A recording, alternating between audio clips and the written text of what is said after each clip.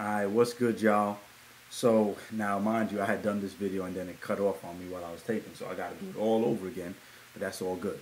Um, so yesterday you or the last video you'll remember that I was talking a little bit about uh, you know there's be, nothing there's nothing wrong with being ordinary as a matter of fact there's actually a lot of value in things being ordinary and continuing a um, a consistent manner um, um, and I just wanted to take that a little bit deeper because um, most of you probably know the story of David and Goliath and in the story of David and Goliath, we often assume that, or, or let me not say it, we assume, but we, we kind of approach the story, or when we, sorry, when we apply the story to ourselves, we apply it in such a way that makes it seem as if we should go looking for Goliaths, oftentimes.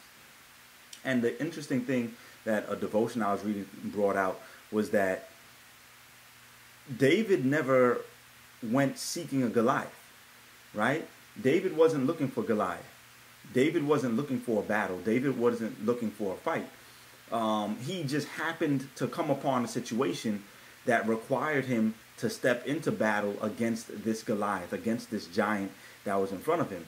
And the interesting thing about that is uh, most people, his his brothers, his even his king, they were like, "Yo, what are you doing? Like you've never trained for war. You're going to lose."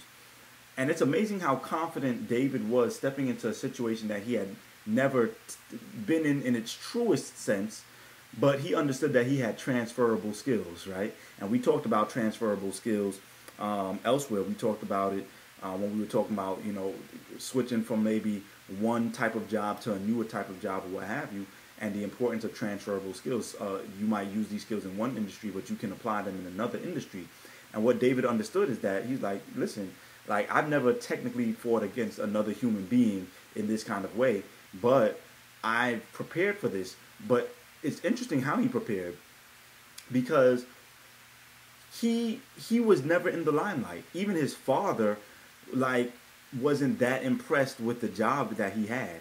And his job was to tend and keep sheep, right? Nothing exciting about that. Nothing about that's going to get you known to the rest of the world. You know what I'm saying? There's nothing about that is going to give you a name for yourself. But when everybody's doubting him, um, David eventually checks the king. He's like, "Yo, no, I've never fought Goliath, but in when I was doing the work that I was doing, I did have to fight a bear or two. I did have to fight lions, and I came out on top and I won. Um, and so sometimes we don't realize how much just going throughout our ordinary day and mastering the craft, mastering what's ordinary before us, taking it to the highest level, meeting the challenges that come naturally throughout our day, how much that prepares us then for when the Goliath does come up. And instead of us going out and trying to find the Goliath, we have enough um, uh, we have enough on our plate for today for us to be than for us to be worrying about trying to find the Goliath to make our name great. So I'm just simply encouraging us to simply, you know, where do you see yourself right now? What are the tasks that are before you? What job are you in? What relationship are you in? Take those things as deep as you can. Master it as much as you can. Overcome in those situations and in those scenarios as much as you can, right? Deal with the lions and the bears of those situations.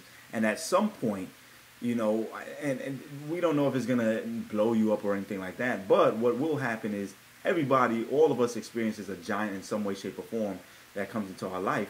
And I believe that if we master the lions and the bears while nobody's watching, then we'll, we'll be able to defeat the Goliath. And it's important because imagine if he hadn't mastered fighting those lions and bears and tried to go up against a Goliath without having that training, without having that the background without having mastered those transferable skills. He might have lost his life, right? So what do you have to lose if you try to find Goliath and you're not prepared for the Goliath, right? So I just want to leave y'all with that, man. Focus on where you're at, master where you're at, and we'll see what Goliaths come into place. And I guarantee that, well, I can't guarantee, but if you've done what you're supposed to, I believe that you will defeat the Goliaths. So again, we're talking about not being average. Don't don't you're not average because you focused on the day to day and mastering the day to day grind. That doesn't make you average.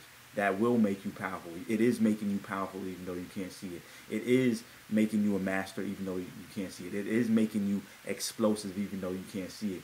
And it, nobody needs to see it right now. But at the right time, the Goliath is going to feel that explosiveness. The Goliath is going to see the power that, that, that is within you. And everybody will be a witness to that thing at the right time and at the appointed time. But don't try to make it happen too soon, all right? Anyway, average is failure. This year, we're going to see that explosiveness. We're going to see that power coming to fruition. This is Vaughn Edmeade. I'm out of here. Peace.